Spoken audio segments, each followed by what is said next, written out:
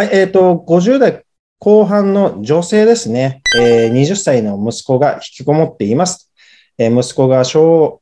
6の時に夫婦関係を悪化し、えー、別居することになり、えー、次女を連れ家を出ましたと。えー、息子、えー、2歳下の長女は夫と暮らし、えー、まあ、長男がですね、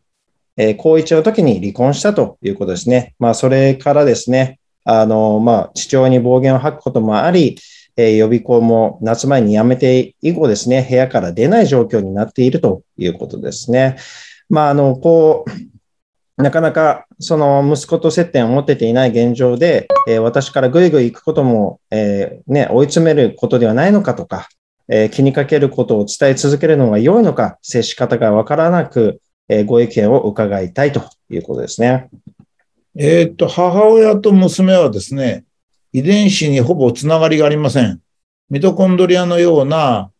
呼吸器系の遺伝子につながりがあるだけで、精神的な意味でのつながりはありませんので、娘さんは一般的にはですね、母親がいなくても、一応育つのが普通です。まあ、必ずしもそうではありませんが、そういう場合が統計的には多いんです。ところが、息子はですね、父親の遺伝子をそのまま100%引き継ぎます。性格とかそういう意味ではですね。そこで、えー、息子が母親のいない状態で正常に育つということはかなり難しいんです。ですから、この場合はですね、その、それに当たっておりまして、えー、まあ、いろんなご事情があってね、えー、息子さんが父親の方に残ったんだと思うんですが、まあ、普通に考えますとですね、えー、まあ、とても大変だったかと思いますので、できなかったのかもしれませんが、離婚の時、離婚というか別居の時に、子供3人をお母さんが引き取るべきでした。これはあの、別に男女とかそういうもんじゃなくてですね、まあ、ちょっとあの、そういう苦しんでおられる方の前に失礼ですが、えー、女性になぜ乳房がついてるのかっていう問題とかですね、女性の頭脳がなんで言語が得意になってるのかっていうのはいろんな研究がありますが、やはり女性が子供を育てる。それの愛情だとか、そういう見方っていうのができるんですね。それから、息子っていうのはものすごく苦しむんですよ。父親についてはですね。つまり父親は基本的には自分と同一人格なもんですから、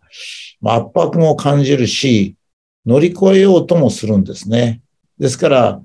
もう非常にこう辛いのが思春期の時に来ます。特に14歳から20歳の間の男の子っていうのは非常に難しいんですね。まあ、その苦しみを、まあ、分かってあげるというのがまず大切ですし、まあ、具体的には私は、えー、もしも、あの、まあ、状況がわかりませんが、引き取れるなら、お話をして引き取ってですね、まあ、費用の点は何か、えー、支援を受けられればですね、そこのとこはそのお金の問題を解決して、やはり人間として住んでいける状態というものが限定されてるっていうことなんですね。うん、えー、まあ、今の場合ですともう非常にはっきりと、息子は親父と一緒には育てられないということで、まあ、非常に納得性もあるし、まあ、息子さんも非常に苦しんでる。何が辛いかってのは息子さんにはわからないんですよ。つまり、その、自分の遺伝子が父親と一緒であり、それがその葛藤となって自分の精神を痛めてるっていうことは普通はわかりません。わ、うん、からないので、どうしてもその中で閉じこもったり、そういうふうにして逃避行動ですね。まあ、そこに出ると非常に苦しんでると思われるので、まあ、事情が許せば、母親と息子、あの、お子さん3人の4人でやり直してみたらどうかと私は思う。うん、